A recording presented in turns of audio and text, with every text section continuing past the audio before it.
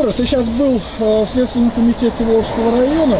Э, по какому вопросу тебя брали объяснение? Но если в целом сказать, это дурдом.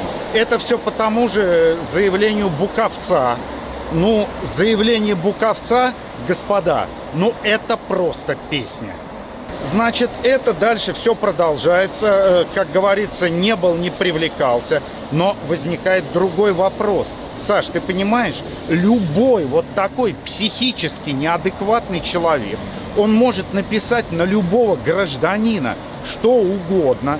При этом э, я не могу утверждать на 100%, но у меня есть подозрение, что вот эту вот фейковую статью э, «Религия на примере половых органов», авторство которой мне приписывают, э, я ни, ничуть не удивлюсь, если э, он написал эту статью.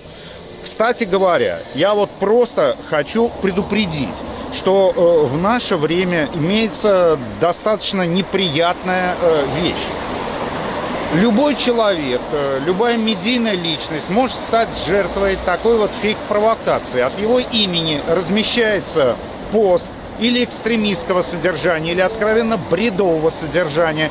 И э, потом на него, на человека же пишется жалоба, и человек начинает разбираться. Э, Я могу привести простой пример. Несколько лет назад жертвой такой же провокации стал Владимир Познер. Как не относиться к Познеру, это 825 вопрос.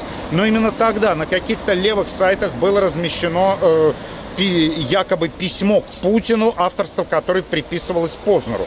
Откровенно хамское письмо, явно не его стиль. Э, либо иногда бывает еще проще. Подобного рода провокация используется для того, чтобы э, увеличить посещаемость страниц. То есть вы вдумайтесь, друзья, вот что может произойти. Для того, чтобы просто повысить посещаемость страницы, людей могут подставлять под уголовные статьи или, или в худшем случае занимается трепотней нервов или а, просто отнимать у людей время. Вот как-то так. Юр, считаешь ли ты свой вызов э, в прокуратуру давлением на тебя как независимого журналиста? Ну, наверное, не в прокуратуру, а в Следственный Ну, комитет. Следственный Э, да, я не исключаю. Это, э, это, с моей точки зрения, психологическое давление.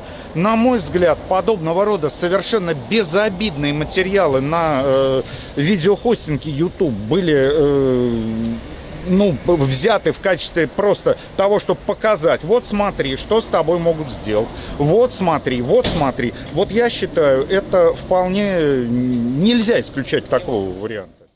Я вам сейчас отключу микрофон. Вы способны молчать?